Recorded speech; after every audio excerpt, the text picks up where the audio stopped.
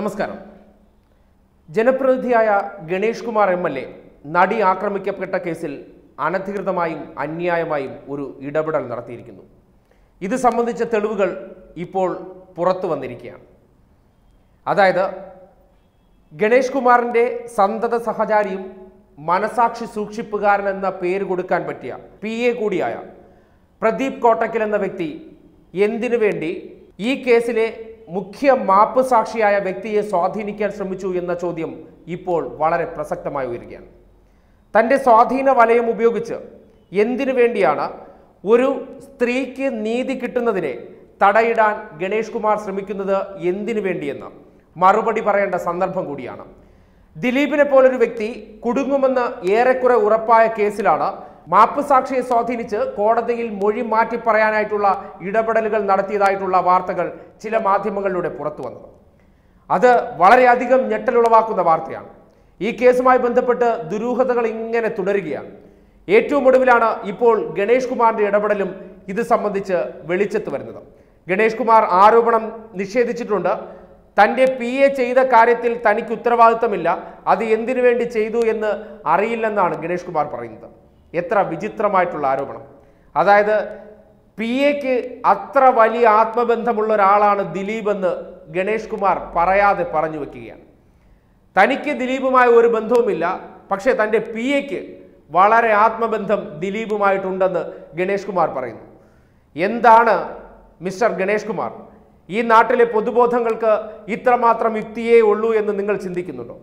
നിങ്ങൾക്ക് എന്തിനാണ് ഇത്രത്തോളം വഴിവിട്ട ഒരു ഇടപെടൽ നടന്നൊരു വിഷയത്തിൽ പ്രത്യേക താല്പര്യം ഗണേഷ് കുമാറിന്റെ ഒരു പക്ഷേ കരിയർ എടുത്ത് പരിശോധിച്ചാൽ തന്നെ അറിയാം പല കാര്യങ്ങളിലും അതും അനധികൃതമായിട്ടുള്ള വിഷയങ്ങളിൽ ഗണേഷ് കുമാറിന്റെ ഇടപെടലിലൂടെ മുമ്പും പലരും രക്ഷപ്പെട്ടു പോകുന്നൊരു സാഹചര്യം ഉണ്ടായിട്ടുണ്ട്. അതുകൊണ്ട് തന്നെയാണ് ഇപ്പോൾ ഈ വിഷയം. ഗണേഷ് കുമാറിന് നേരെ വിരൽ ചൂണ്ടി വരുമ്പോൾ ഗണേഷ് കുമാർ എന്ന വ്യക്തി ഒരു സംശുദ്ധ രാഷ്ട്രീയക്കാരനാണോ എന്ന സംശയം ഈ നാട്ടിൽ ഉയരുകയാണ്. ഈ വിഷയം മാത്രമല്ല സോളാർ കേസ് എന്ന വിഷയത്തിന്റെ പിന്നിലെ മാസ്റ്റർ ബ്രെയിൻ ആരെന്ന് ചോദിച്ചാൽ ഗണേഷ് കുമാറാണ് എന്നുള്ള ആരോപണം അന്നത്തെ കാലത്ത് ഏറ്റവും കൂടുതൽ ശക്തമായിരുന്നു. ഒരുപക്ഷെ ഗണേഷ് കുമാറിനെ നിഷേധിക്കാം. പക്ഷേ മന്ത്രി എ പി അനിൽകുമാർ കുമിളിയിലെ ഒരു ഗസ്റ്റ് ഹൗസിലേക്ക് വരണ സന്ദർഭത്തിൽ ഒരു ബോട്ട് അപകടത്തിൽപ്പെട്ട് അത്ഭുതകരമായി രക്ഷപ്പെടുന്നു. ആ സന്ദർഭത്തിൽ നിയമം ലംഘിച്ച് രാത്രി ബോട്ട് ഓടിക്കാൻ വേണ്ടി മന്ത്രി അനിൽകുമാറിന് അനുവാദം കിട്ടിയത് എങ്ങനെയെന്നും കാടിനുള്ളിലെ സർക്കാർ ഗസ്റ്റ് ഹൗസിൽ ഗണേഷ് കുമാറിനെ കാണാൻ അയാൾ രാത്രി ബോട്ട് മോടിച്ചെത്തിയ ഒരു സംഭവം ഈ നാട്ടിൽ റിപ്പോർട്ട് ചെയ്യപ്പെടുകയുണ്ടായി. വലിയ ചർച്ചയൊന്നും ആകാതെ പോയെങ്കിലും ആ വിഷയം ഇപ്പോഴും നിലനിൽക്കുന്നുണ്ട്. എ പി അനിൽകുമാറിന്റെ വീട്ടുകാരുടെ ഭാഗ്യം കൊണ്ട് അന്ന് രാത്രി ബോട്ട് അപകടമുണ്ടായിട്ട് ഒരു മന്ത്രി ദുരൂഹ സാഹചര്യത്തിൽ മരണപ്പെടാതെ രക്ഷപ്പെട്ട ഒരു സന്ദർഭമുണ്ടായി. ഗണേഷ് കുമാറിന് കൃത്യമായിട്ട് അറിയായിരിക്കും. അന്ന് ഈ പറയപ്പെടുന്ന ഗസ്റ്റ് ഹൗസിൽ ഉണ്ടായിരുന്ന വ്യക്തി സരിതയാണെന്നുള്ള ആരോപണം പരക്കെ ഉയർന്നിരുന്നു. പക്ഷേ എന്തൊക്കെയോ പുകമറകൾക്കുള്ളിൽ നിന്നുകൊണ്ട് ഈ വിഷയം മാഞ്ഞുപോയി ഇതുപോലെ തന്നെ പലതരത്തിലുള്ള അനധികൃതമായ ഇടപെടൽ ഗണേഷ് കുമാറിന്റെ ഭാഗത്തു നിന്നുണ്ടായ പല സന്ദർഭങ്ങളുണ്ട്. കഴിഞ്ഞ മന്ത്രിസഭയുടെ കാലത്ത് തന്നെ പീതാംബരക്കുറിപ്പെന്ന മുൻ എം പിക്കെതിരെ ഒരു നടി ഒരു ലൈംഗിക ചേഷ്ടയുടെ ആരോപണം ഉന്നയിച്ചപ്പോൾ ആ വ്യക്തിയെയും പിന്നീട് വെള്ളപൂശിയെടുത്തത് ഗണേഷ് കുമാറിന്റെ കൈകളിലൂടെയാണ് എന്നുള്ള ആരോപണം വളരെ ശക്തമാണ്. തീർന്നിട്ടില്ല. മോഹൻലാലിന്റെ വീട്ടിലെ ആനക്കൊമ്പ് കേസ്. ഈ വിഷയത്തിലും മോഹൻലാലിനെ രക്ഷപ്പെടുത്തി വിട്ടത് ഗണേഷ് കുമാറിന്റെ ഇടപെടലാണെന്നുള്ള കാര്യം പരസ്യമായ രഹസ്യമാണ്. ഇവിടെയും തീർന്നിട്ടില്ല. ഗണേഷ് കുമാർ മന്ത്രിയായിരിക്കുന്ന സന്ദർഭത്തിൽ സ്വന്തം മകന്റെ കൂടെ പഠിക്കുന്ന ഒരു സഹപാഠിയുടെ മാതാവിന്റെ ഭർത്താവ് ഗണേഷ് കുമാറിനെ മന്ത്രി മന്ദിരത്തിൽ കയറി ചെകിട്ടത്തടച്ച സംഭവം പോലും ഈ നാട്ടിൽ റിപ്പോർട്ട് ചെയ്യപ്പെട്ടിട്ടുണ്ട്. അത് പിന്നീട് അദ്ദേഹത്തിന് മന്ത്രിസ്ഥാനത്ത് നിന്ന് പുറത്തു പോകേണ്ട ഒരു സാഹചര്യത്തിൽ വന്ന് അവസാനിക്കുന്ന ഒരു രീതിയിലാണ് അവസാനിക്കപ്പെട്ടത്. ഇപ്പോൾ അതെല്ലാം കഴിഞ്ഞു വിഷയങ്ങളെല്ലാം തണുത്തു. ഗണേഷ് കുമാർ ഒരു പുതിയ മുഖമായി മറ്റൊരു മുന്നണിയിൽ ഒരു പ്രധാന കക്ഷിയായി നിലനിൽക്കുന്ന സന്ദർഭത്തിലാണ് ഏറ്റവും പ്രമാദമായ രീതിയിലൊരു ആരോപണം ഉയർന്നു വരുന്നത്. ഗണേഷ് കുമാർ ഇപ്പോൾ നടി ആക്രമിക്കപ്പെട്ട കേസിലെ മുഖ്യ പ്രതിയെ രക്ഷപ്പെടുത്താനായിട്ടുള്ള ഇടപെടലുകൾ നടത്തുകയാണ്. ഗണേഷ് കുമാറിനെ പോലൊരു വ്യക്തി ഒരുപക്ഷെ അത് ചെയ്യില്ല എന്ന് മുൻപ് പറഞ്ഞ ഉദാഹരണങ്ങൾ കൊണ്ട് ഉറപ്പിച്ച് പറയാൻ കഴിയില്ല. പല സന്ദർഭങ്ങളിൽ ഇത്തരത്തിൽ വഴിവിട്ട ഇടപെടലുകൾ ഗണേഷ് കുമാറിന്റെ ഭാഗത്തു നിന്നുണ്ടായിട്ടുണ്ട്. അതിൽ ഏറ്റവും ഒടുവിലത്തെ ഉദാഹരണമായി വേണം വിപിൻ ലാൽ എന്ന മാപ്പ് സാക്ഷിയെ സ്വാധീനിക്കാൻ ശ്രമിച്ചതും അതിന്റെ സി സി ടി വി ദൃശ്യങ്ങൾ ബേപ്പൂർ പോലീസിന് ലഭിക്കുകയും ഇപ്പോൾ അത് ഗണേഷ് കുമാറിന്റെ പി എ ആണെന്ന് കണ്ടെത്തുകയും ചെയ്തിരിക്കുന്നത് ഇപ്പോഴും വേണമെങ്കിൽ നിങ്ങൾക്ക് ഉരുളാം പക്ഷേ ഗണേഷ് കുമാർ ഒരു കാര്യം മനസ്സിലാക്കണം. വീഴുന്നത് സ്വാഭാവികം. പക്ഷേ അവിടെ കിടന്ന് ഉരുണ്ട് മറിഞ്ഞ് വീണ്ടും വീണ്ടും നിങ്ങൾ നാണക്കേടിൽ ചെന്ന് പെടുകയാണ്. നിങ്ങൾ നടിക്കൊപ്പമാണോ അല്ലെങ്കിൽ നടിയെ ആക്രമിച്ച പ്രതിയായ ദിലീപിനൊപ്പമാണോ എന്നുള്ള നിങ്ങളുടെ നിലപാട് വിശദീകരിക്കേണ്ടിയിരിക്കുന്നു. നിങ്ങൾ തന്നെ കേസുമായി ബന്ധപ്പെട്ട് ദിലീപ് ജയിലിലായിരുന്നപ്പോൾ പോയി സന്ദർശിച്ച വ്യക്തിയാണ്. അത് ഒരു സഹപ്രവർത്തകൻ എന്ന രീതിയിൽ ചെയ്യാൻ പാടില്ല എന്നല്ല. പക്ഷേ ഒരു സഹപ്രവർത്തകൻ നിങ്ങളുടെ ഏറ്റവും അടുത്തൊരു സുഹൃത്ത് ഇത്തരത്തിൽ മോശമായിട്ടുള്ള ഒരു കാര്യം ചെയ്തിട്ടുണ്ടെങ്കിൽ ഇന്ത്യയുടെ നീതിന്യായ വ്യവസ്ഥയിൽ അത് തെറ്റാണ് അല്ലെങ്കിൽ കുറ്റമാണെങ്കിൽ ജനപ്രതിനിധിയായിട്ടിരിക്കുന്ന നിങ്ങൾ അത് ചെയ്യുന്നത് മര്യാദയാണ്? ഗണേഷ് കുമാർ പലതിനും ഉത്തരം പറയേണ്ടിയിരിക്കുന്നു. ഈ പ്രദീപ് എന്ന വ്യക്തി വളരെ മാന്യനായിട്ടുള്ള വ്യക്തിയൊന്നുമല്ല. ഗണേഷ് കുമാറിനെ സഹായിക്കാൻ വേണ്ടി സോളാർ കേസുമായി ബന്ധപ്പെട്ട് സരിത അറസ്റ്റിലായി ജയിലിൽ കടന്ന സന്ദർഭത്തിൽ ജയിലിൽ പോയി സന്ദർശിച്ച് അതായത് പ്രച്ഛന്ന വേഷത്തിൽ ആളുമാറി ജയിലിൽ പോയി സന്ദർശിച്ച് ഒരു കത്ത് സംഘടിപ്പിച്ച വിവരം നിങ്ങൾക്കറിയാലോ. അത് കൊല്ലത്തൊരു വാർത്താ സമ്മേളനത്തിൽ തുറന്ന് പ്രഖ്യാപിക്കുകയും ചെയ്തിരുന്നു. സോളാർ കേസുമായി ബന്ധപ്പെട്ട വലിയ തെളിവ് എന്റെ കൈവശമുണ്ട്.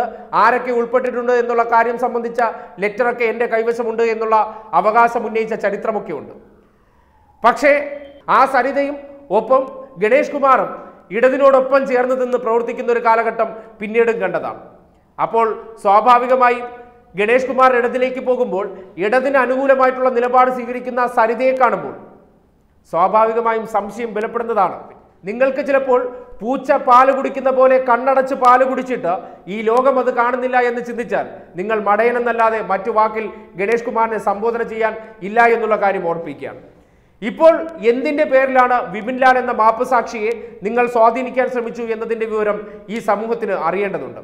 ഗണേഷ് കുമാർ എന്ന ജനപ്രതിനിധിക്ക് അത്തരത്തിൽ ഒരു ഇരയാക്കപ്പെട്ട സ്ത്രീക്ക് നീതി കൊടുക്കാൻ കഴിയില്ല എങ്കിൽ നിങ്ങൾ ആ സീറ്റിലിരിക്കാൻ യോഗ്യനല്ല എന്ന് പറയേണ്ടി വരുന്നുണ്ട്. തെരഞ്ഞെടുപ്പെടുത്ത കാലമാണ്.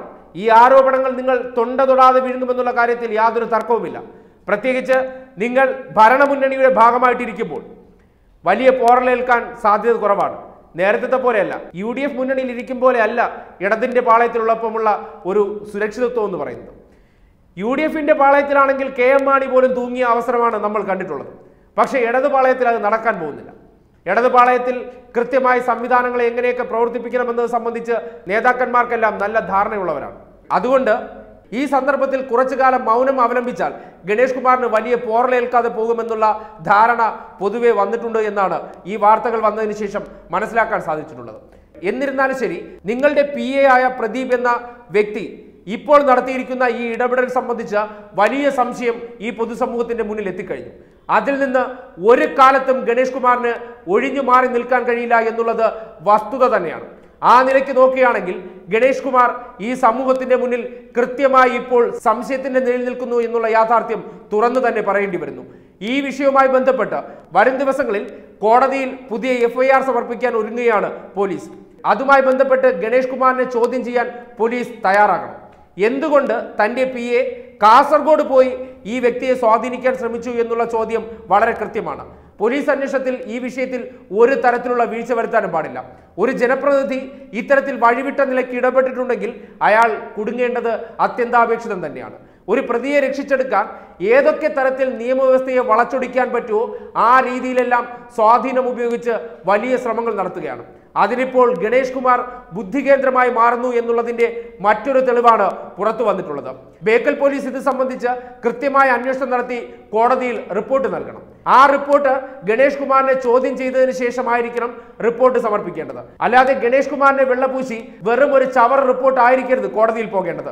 അല്ലെങ്കിൽ പ്രദീപിനെ മാത്രം തൂക്കിലേറ്റിക്കൊണ്ടുള്ള റിപ്പോർട്ടല്ല ഈ വിഷയത്തിൽ ആവശ്യം ഇത്രയും വലിയൊരു പ്രമാദമായ കേസിൽ എന്ത് അട്ടിമറിക്കാണ് ഗണേഷ് കുമാർ കൂട്ടുനിന്നത് എന്നുള്ള വിവരത്തെക്കുറിച്ച് പൊതുസമൂഹം അറിയേണ്ടതുണ്ട്.